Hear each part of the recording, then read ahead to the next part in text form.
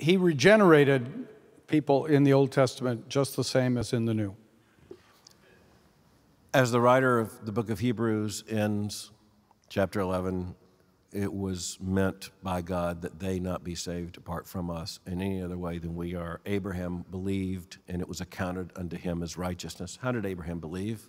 Is it because he had some kind of inherent righteousness? No. We have to believe the Holy Spirit in regeneration. Uh, is the sole explanation for why Abraham believed and it was accounted unto him for righteousness. And I, I do believe that the, the, the writer of the book of Hebrews is inspired by the Holy Spirit to make that point made elsewhere in Scripture, but just emphatically, just keep in mind there is one salvation, it works one way.